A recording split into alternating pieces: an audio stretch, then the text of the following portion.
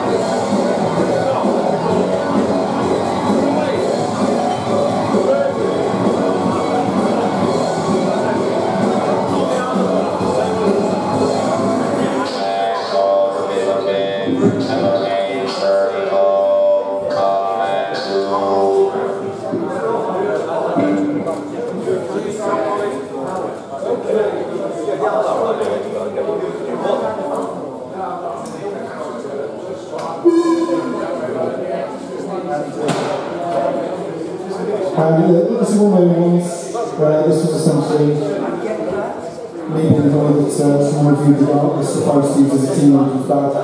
So I a little whack out on the other side from it. I can still